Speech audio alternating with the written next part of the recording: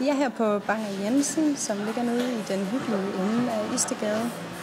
Og øh, det er et sted, hvor folk de kommer for at hænge ud, og måske folk de kender. Der er også rigtig mange, der hygger sig med at, øh, at sidde og arbejde lidt herinde. Der er kaffe til en 20'er. Man kan få en refill, og øh, man kan få en, øh, en god øh, morgenbuffet for 60 kroner. Banger Jensen er et besøg værdigt, hvis du vil øh, sidde og arbejde lidt i løbet af dagen. Øhm, der er virkelig kroge, og øh, om aftenen er der mange, der hænger ud og får en øl med nogle gode venner.